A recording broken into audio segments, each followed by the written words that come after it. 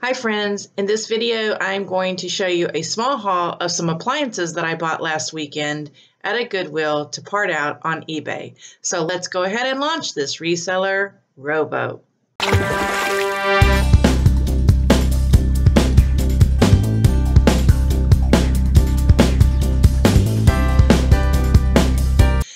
My friends. I'm so glad you're here. If you're new to my channel, hi, my name is Beth Ann, and I am a part-time reseller on eBay, Poshmark, Mercari, and Amazon. And if you haven't subscribed, please just hit the little rowboat in the bottom right-hand corner of your screen at any time. And don't forget to hit the bell so you'll be notified the next time I go live or upload a video.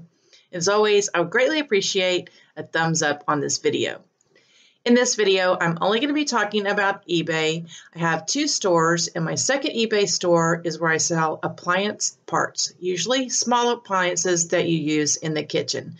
I have a special Goodwill honey hole that I go to in um, the hill country of Texas. Not going to name the town, but I usually do really well there. And just to give you a backstory, last year, the first time I went there, I purchased about 11 or 12 machines for like $72, something like that. Had to, took up two carts. And when I went back the next time, I got about 10 machines. And then the third time I went back, they had raised their prices tremendously. I guess they caught on that I was buying so many machines. And so I didn't go back for like six months because their prices were like double. But I gave it, like I said, about six months and they started lowering their prices again. So I try not to be as greedy as I was the first two times. I'm a little bit pickier now, but let me show you some of the things I got for $33. I got three machines, and I think I did quite well. Actually, I thought I was going to pay more, but I think some of the items were on sale. I wasn't sure what the color of the month was. You know how Goodwill has colors of the month?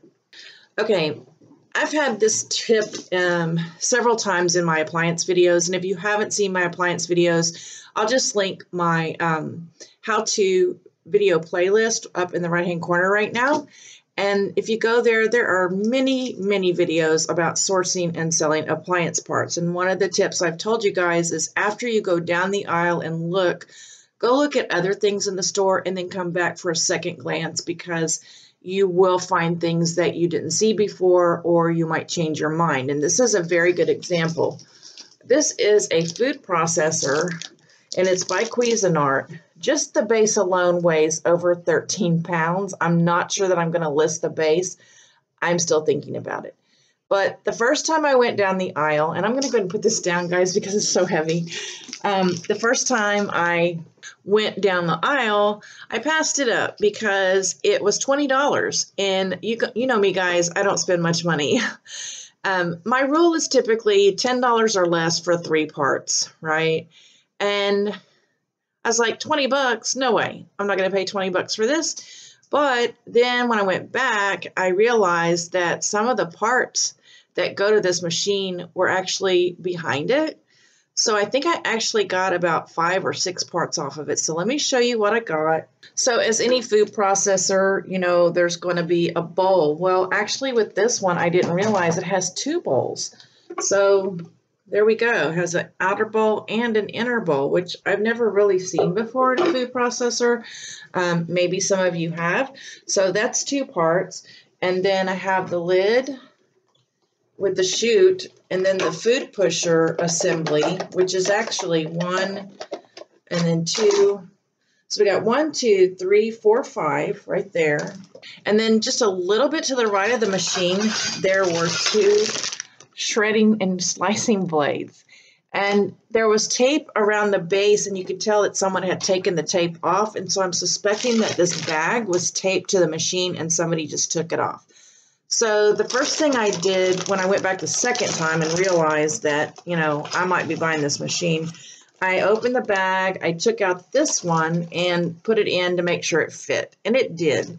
And, you know, it's got this spindle right here that's already attached, but the second blade um, doesn't have that spindle, right? And so it won't go on there. I mean, it has the same at the bottom right there but it needs to have a spindle to go on this machine and it the machine's missing it. But that's okay because that's why I sell parts, right? Another reason why I grabbed this is because it has, even if these two don't go with this machine, um, Cuisinart is very kind and they put their model, their numbers on, on the actual blade. I don't know if you can see that. So what I'm saying is if, if you find uh, blades like this and you find no machine, just if there's a part number on it, you can sell it, okay? So that's six parts right there for $20. But what I'm thinking is this machine must have been on sale because I thought I was going to be spending like 40 something dollars and I ended up spending 33. So that was great. Um, when I did get up to the front, the lady was a little bit leery because these were not together exactly. But I told her, you know, that the tape was off and this was next to it. And I, you know, this was taped evidently to the machine in the beginning. And she, she went for it. You know, I wasn't really lying. I mean, I guess I wasn't really telling the truth, but I know these fit. You know, I, and I told her, I said, I took the tape off the machine and I tried one of these to make sure that it went with the machine and it did. So don't be nervous when you're out of the thrift shop and everything's taped together. Don't be nervous about untaping things. Just try to tape them back as best you can if you're not going to buy it. Sometimes, if it's really bad, I'll go up to the cashier and say, I'm going to take this tape off, okay? I don't say, may I take the tape off? I just say, I'm going to take this tape off, okay? And they never give me a problem. And as far as selling the base of this machine, I'm just going to really have to do some research on it. I mean, it's going to be over 14 pounds by the time I put a box and bubble wrap in there. I just got to see if it's sold ever, if there are any listed. I have my gut feeling is I'm probably not going to sell this machine, but I will remove the feet from this machine if I decide not to sell the base because the feet will sell. Okay, now this next machine had $14.99 on it and I have no problems paying $14.99 for this machine because this is what we call a Cuisinart grind and brew. Now, usually it says grind and brew on the machine, but it is a grind and brew, so you want to be looking for those. And the reason I can tell that it's a grind and brew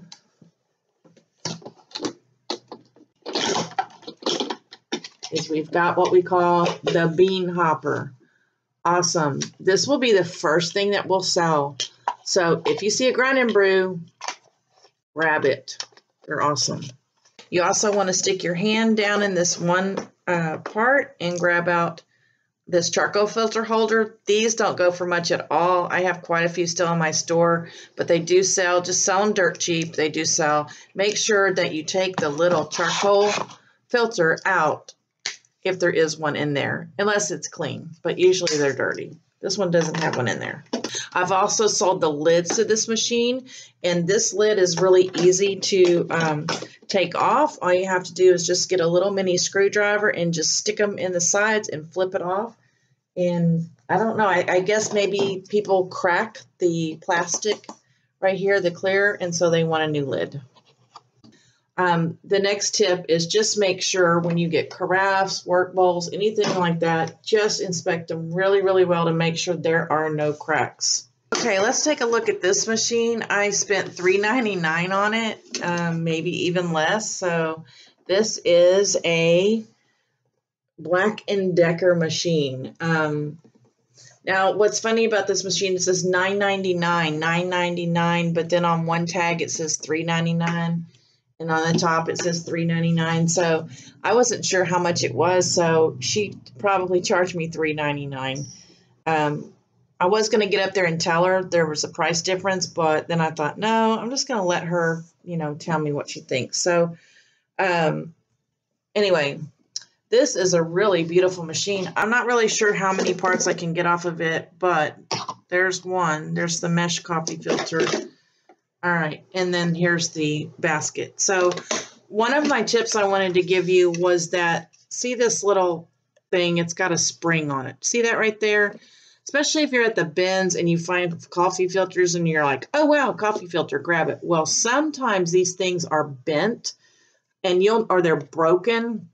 somebody has just, you know, broken them, just make sure that this is not broken off or bent. You really can't sell it if it is. And it's not something that you can like bend back and shape very well. So this is perfect, but you'll just see this will be to the side. Um, they probably just crammed it into their machine and bent it. Another tip I have for you is I wash most of my parts in the dishwasher.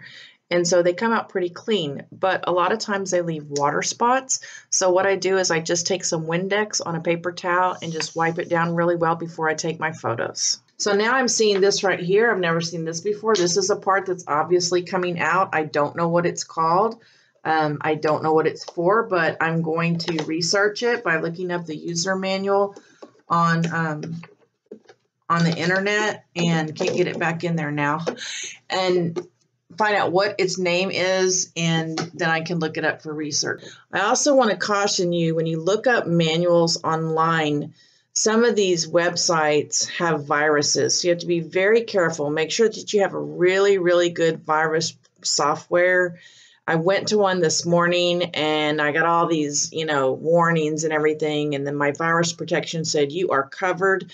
So I always hate it when that happens, but just be prepared for that. Um, the way I try to get around that is I try to Google, like, let's say Cuisinart 500 parts, and then I'll hit images and look for images because sometimes people take a photo of that page in the instruction manual.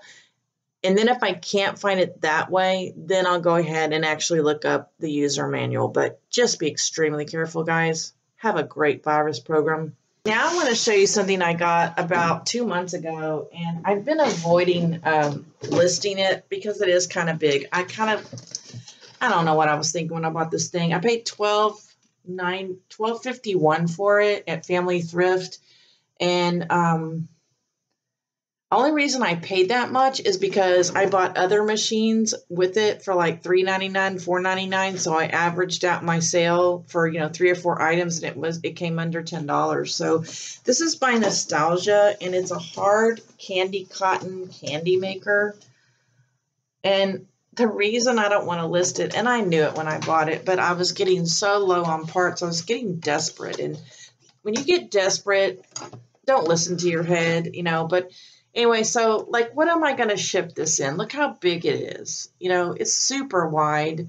I'm going to have to find a box that's flatter, or then I'm going to have to Frankenbox it. I hate Frankenboxing. Um, here's another piece that's the same way. You know, it's not very tall, but it's super wide. Um, I don't know what I was thinking. And then I've got the base. And then it's got things like with the base, I can take the feet off if I'm not going to sell the base, but I am going to try to sell the base. Then it's got these things. I can't remember what they're called. They're written on the box. There's a little scoop. I'll just throw in the scoop with these things. Um, but this is what you actually put the cotton candy on. I know there's a name for it. It has, it says they're light up glow uh, cones, but I, I don't see any light up glow cones here. But anyway, these are called cones. And Oh, I guess these are the light up ones. I'm not really sure. They've never been open, so I'm not really sure how you light them up. Let's see what this button does. Yeah, the button doesn't do anything. So I don't know if you have to put batteries in them. Um, no clue. But anyway, just thought I'd show you that because I plan on listing that this week. So I have finally gotten to 500 items in my part store again. And I think with all of these things here, I'm going to try to get up to 525, 530. And that will be it. That will be all the parts I have to sell. So I either need to go back to the bins or something like that. I hope that this video has been helpful to you. And if you have any questions about selling appliance parts online, specifically on eBay, please leave me a comment below and I'll try to get back to you or I'll try to record a video about that topic. Until next time, may God keep you in his pocket and paddle on, everyone. We're all in this business boat together.